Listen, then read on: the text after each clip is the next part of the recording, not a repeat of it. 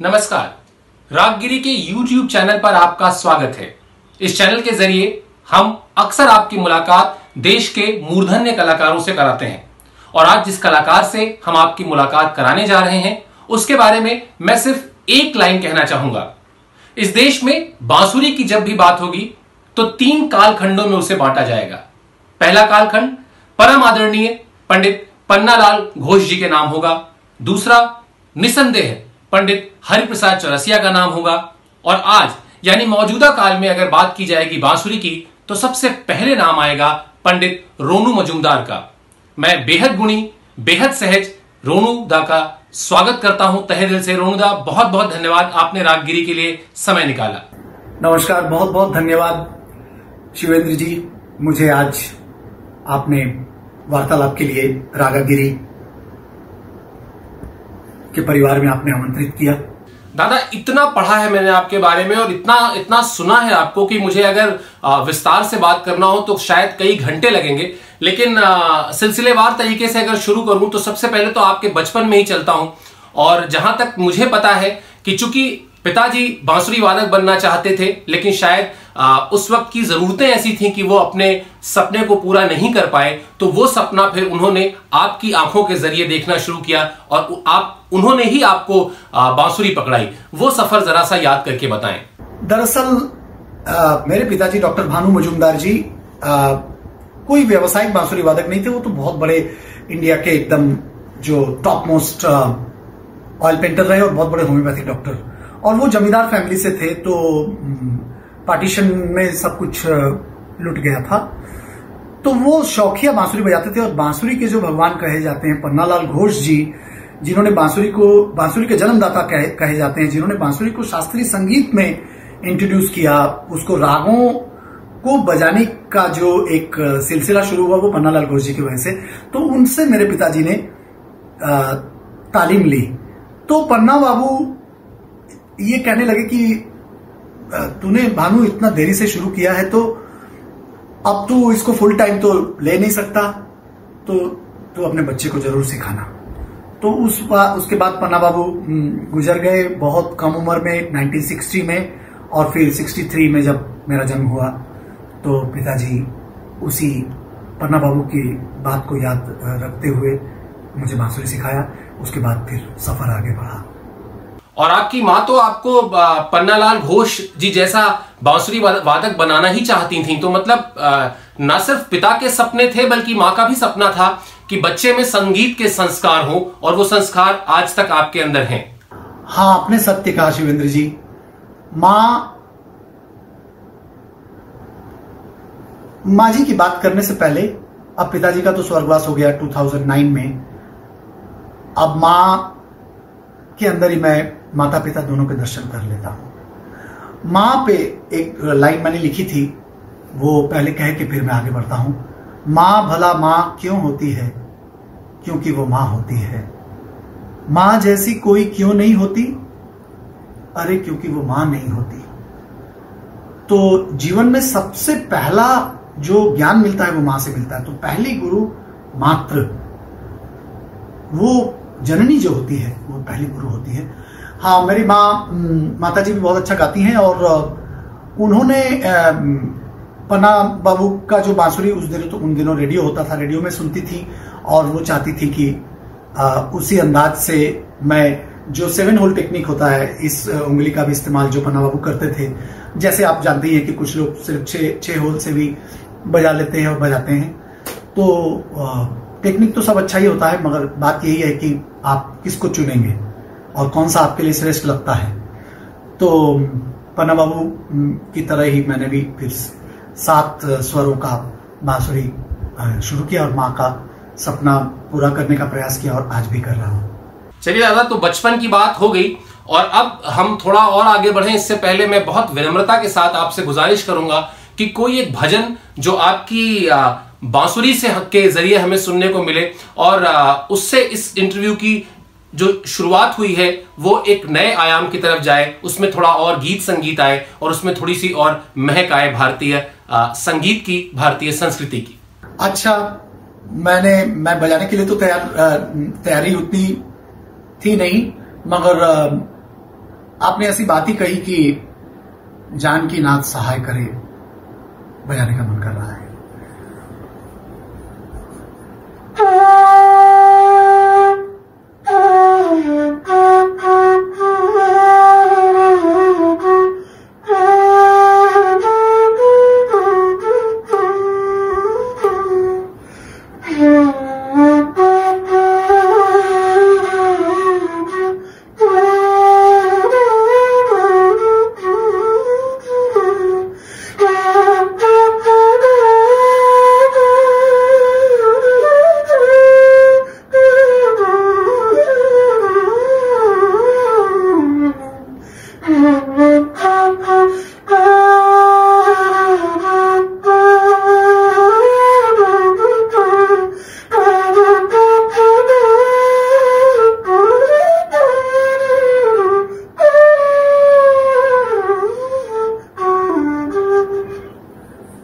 दादा, यूँ तो आपका जो संगीत है मतलब उसको मैं, अगर मुझसे कोई कहे तो मैं उसे घराने में बांधना पसंद नहीं करूँगा, क्योंकि आपने जिस तरह के प्रयोग भी किया आगे जाकर, उस पर भी हम बात करेंगे आगे।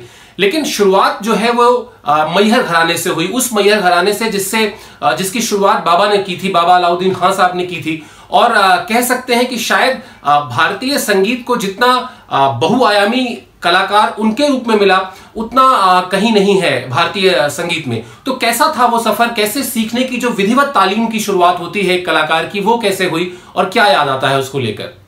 जी, वैसे तो मैंने कुंवर श्याम गोसाई, घराना, जो पंडित लक्ष्मण प्रसाद जयपुर वाले जी, जिनसे मैंने गाने की तालीम ली, और उस घराने का भी बहुत सारी बंदिशें मुझे याद है।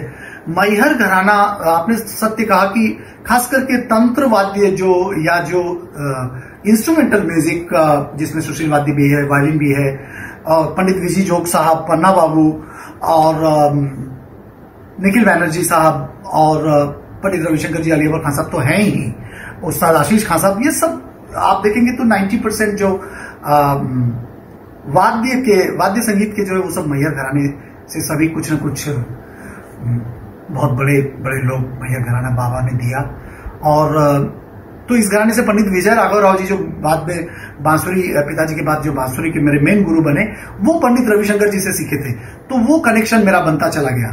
और मैंने अत स्वागतम, शुभ स्वागतम जो एशियाड का वेलकम सॉन्ग था, जिसकी रिकॉर्डिंग 81 में हुई थी, बाद में 82 एशियाड जो हुआ तो उससे मैं पंडित रविशंकर जी से मिला, जो भारत रत्न नहीं, बल्कि विश्व रत्न थे, ऐसा कहा जाता है। तो फिर उनसे, वो मेरे वैसे दादा गुरु लगते थे मगर फिर वो मेरे गुरु भी हो गए क्योंकि फिर उनसे सीधे तौर पे मैंने डायरेक्ट तालीम भी मैंने बहुत हासिल की। और भाग्यवान मानता हूँ कि मैहर घराने से जुड़ा मैं इतने कम उम्र से और कुछ न कुछ प्रसाद मुझे भी मिला। थोड़ा सा हमें अपने स्कूली दिनों के बारे में भी बताएँ। रोनुदा की पढ़ाई वढ़ाई में मन लगता था या सिर्फ़ जो कोशिश होती थी कि हमेशा हमेशा जो है वो आ, साथ में बांसुरी हो और हमेशा कान में जो है वो गणित या अंग्रेज़ी या विज्ञान के फॉर्मूले नहीं बल्कि नियम नहीं बल्कि आ, संगीत के सारे गामा गूंजते रहे। क्या कुछ था? कैसे याद करते हैं उसे? नहीं वैसे तो आ, किसी भी जो संगीत में रहते हैं वो उनका पढ़ाई में मन लगता नहीं। मगर मेरे कुछ अच्छे बहुत पसंदीदा सब्जेक्ट थे विषय थे जो मैं एंजॉय भी करता था जैसे इतिहास और और हिंदी जो लिटरेचर है, उस पर मेरा मन लगता था और इंग्लिश में भी। तो ये कुछ और गणित में एकदम डब्बा गोल था। गणित में आज भी मन नहीं लगता और गणित संगीत का गणित अच्छा लगता है कि सात में पाँच कैसे लाएँ, पाँच में आठ कैसे लाएँ। तो वो जो जातियाँ होती है हमारे संगीत में, वो शायद गणित वाले भी उसका गणित लगा नहीं सकते। मुझे ऐसा लगता है कि जैसे कि आप अगर देखेंगे, कुछ जातियाँ ऐसी बनती है जिसको वैसे गणित से लगाए तो नहीं आएगा, मगर जाति के रूप में जाए तो वो आपको दिख जाएगा कि हाँ ये रस्ते से ये लयकारी हो सकती है। अच्छा मैंने सुना है कि आपके पिताजी ने एक बड़ी सख्त ताकीद दी थी और ताकीद ये थी कि जितनी बांसुरी तोड़ोगे, उतने घंटे रियाज करना पड़ेगा। तो ये जो आजकल के युवा कलाकार हैं, जो सीख रहे हैं, उनके लिए शायद ये शिक्षा या उनके लिए ये किस्सा बहुत उपयोगी होगा। प्लीज़ बताइए जरा। दरअसल जैसे बच्चे होते हैं, उनको कुछ ना कुछ खिलौनों की ज़रूरत होती है। तो बनारस में तो मेरा जन्म हुआ, आपको मालूम ही है। और तो मैं बांसुरियाँ खुली रखी रहती थी घर में तो मैं खिलौनों की तरह बहुत सारी बांसुरियाँ टूट गई थी मेरे हाथ से। तो वो सजा सजा जो होती है, जो वो कोई डांटना या मारना उन्होंने नहीं किया। और मैं साढ़े पाँच छह साल का था। और उन्होंने कहा कि जितना, सीधी सी बात है, जितनी बांसुरियाँ तोड़ी है तो उतने घंटे रियाज करके तुम करो। तो मेरे लिए सिंपल था वो, और मैंने वो सजा जो उन्होंने दी, वो स्वीकार किया। और मैं एकदम ईमानदारी से उतने घंटे रियाज करने लगा। चार घंटा, पाँच घंटा, ये सब मेरा रियाज होता था। और रियाज में एक बार ऐसी चीज़ है कि रियाज में एक बार मन लग जाए तो अगर रियाज ना करे आप, आदमी एक दिन तो लगता है कि जैसे कुछ रह गया, और अगर रोज खाना खा रहे हैं तो रोज रियाज क्यों नहीं कर सकते? तो मैं संगीत के छात्रों से ये कहना चाहता हूँ कि साधना तो बाद में होगा, पहले मांझना तो हो। जब मांझ लेंगे, फिर ऊपर, उसके बाद साधना का लेवल आएगा।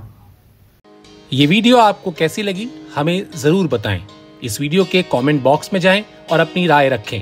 इसके अलावा रागगिरी को सब्सक्राइब करें और बेल नोटिफिकेशन ज़रूर प्रेस करें, जिससे जब भी हम कोई नया वीडियो लेकर आएँगे, आपके पास जानकारी यानी नोटिफिकेशन पहुँच जाएगा।